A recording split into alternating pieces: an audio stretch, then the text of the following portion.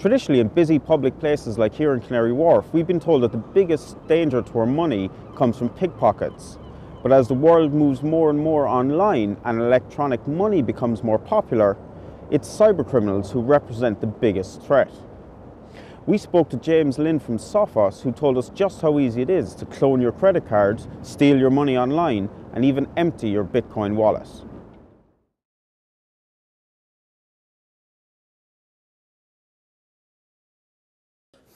So a lot of people would think with a, a, modern credit card like this, with all its chip and pin and latest security features, that it would be very difficult. But unfortunately, retail is as strong as the weakest link, and a lot of countries where we do transactions don't support these more modern technologies. What I've got here is a little reader that can clone credit card information, uh, about 150 pounds, not from a criminal gang, but from Amazon, that's where I purchased it.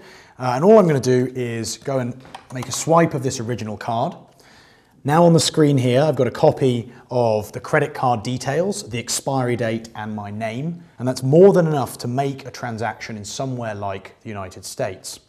Now what we're going to do is write this onto a completely new card. So you can imagine this might be done in an ATM or a POS, uh, a point of sale system at a shop, and then somewhere later, the cybercriminal creates a copy like that, and now we can go and use this to buy things in countries that don't participate in the more secure standards.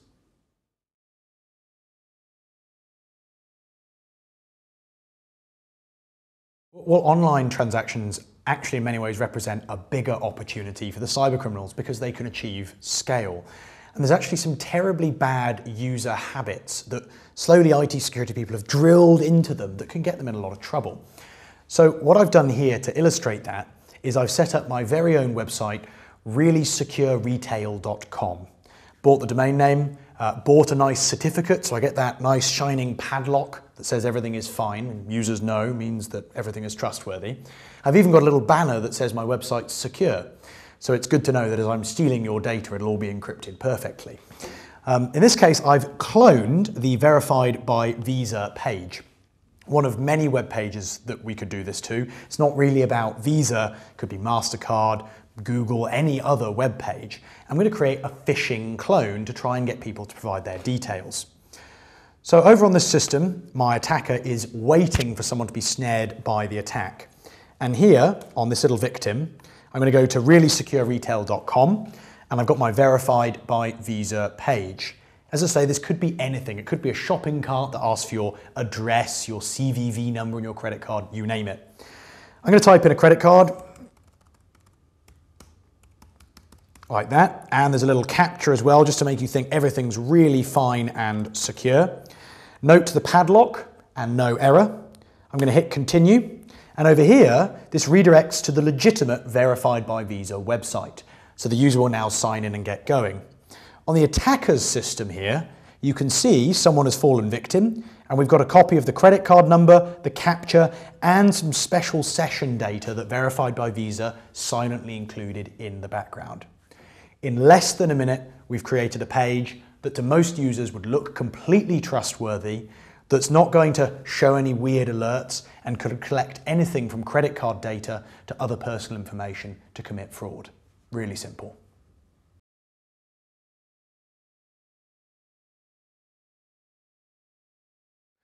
Let's take a look first at how you can steal some Bitcoins. On this system here, I'm running the standard Bitcoin wallet uh, which could contain any number of bitcoins potentially to be transacted.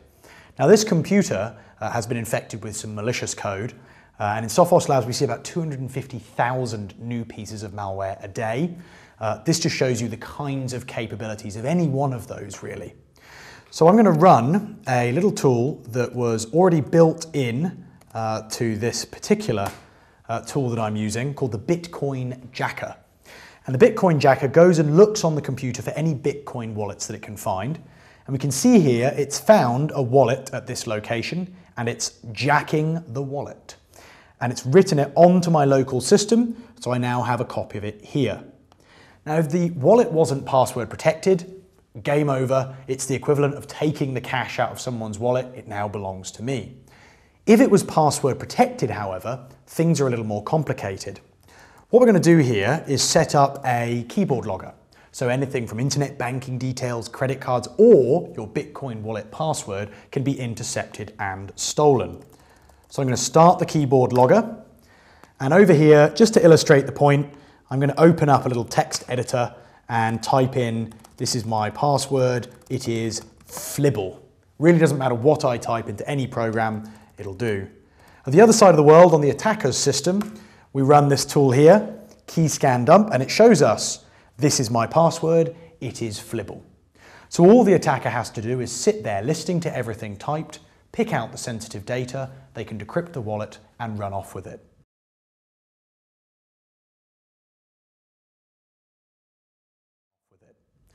New payment systems like Apple Pay are actually making some pretty big leaps in payment security. They've got dedicated hardware to make it much more difficult for the attackers to steal. And they're using clever cryptographic mechanisms. So in many ways, these are much more secure than the credit card we're walking around with today. There's one drawback. These are all connected to the internet, so if a flaw ever was to be found, the potential yield for cybercriminals would be huge. Thanks for tuning in to this week's Tech Talk and for all your technology news and reviews, make sure to check out ibtimes.co.uk forward slash technology.